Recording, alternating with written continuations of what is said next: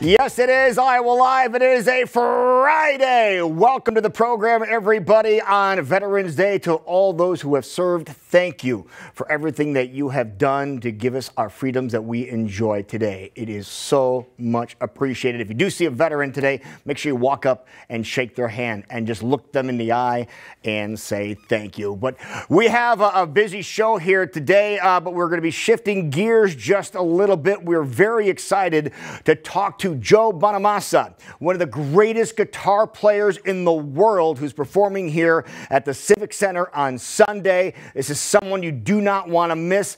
We had him scheduled to talk to us today. Everything was ready to go, but unfortunately, he's unable to join us here today. But uh, earlier this morning, we received a message from Joe for everybody here in Iowa. Here's Joe.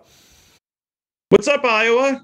Looking forward to coming back to Des Moines. It's been a long time. Looking forward to seeing you guys at the Des Moines Civic Center November 13th. It will be a blast of good blues rock for the whole family. Yeah, good blues rock. This guy is absolutely phenomenal. For those people that are into rock music, you know who Joe Bonamassa is. You've seen the billboards all around town. You know the great music he plays. But did you know that he opened for B.B. King when he was 12 years old. And then B.B. King asked him if he wanted to go on tour with him that summer while he was off school, which he did at the age of 12. That's how talented this guy was. Then uh, continues on with his expertise and his uh, guitar virtuoso. Uh, check out, here's a video of him in concert right now to show you what he looks like and, and how he performs. Uh, he's phenomenal on the guitar now, folks.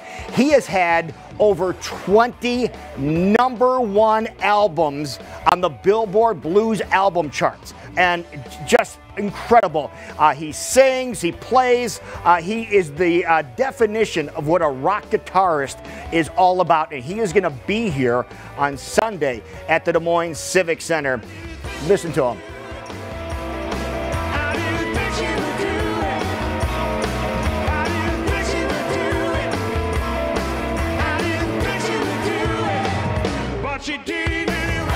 Boy, with such soul. And then look at this guitar work.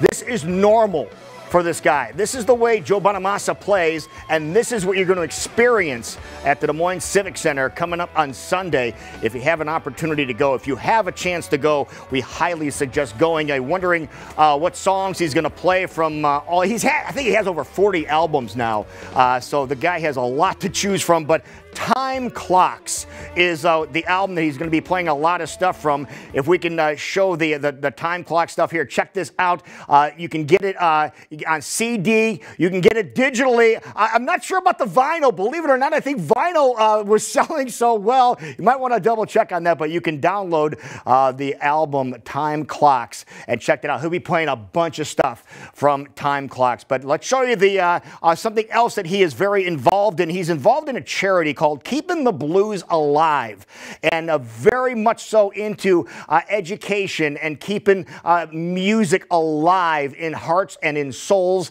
He has an organization, a charity organization that is designed just for that. And they also have another program, part of this, called Fueling Musicians, which actually provides funding to help get musicians back on the road with everything that happened with COVID. That's his way to give back. He even has a, a podcast, and the place that he hangs out with, he calls it Nerdville. So Joe's podcast is live from Nerdville. He has an incredible collection of guitars and, and stuff in the music industry, and he talks with rock stars of all shapes and sizes, all forms, and blues artists. Of course, you can check out his podcast. Take a look, and here's the details on his concert on Sunday. Uh, it is going to be at the Civic Center, and you can find it. Uh, if we go to the first graphic, please, that'd be great. And the, the Civic Center is where he's going to be performing. You can go and get the information at uh, dmpa.com or also at jbonamassa.com, and it'll link you right there. Arguably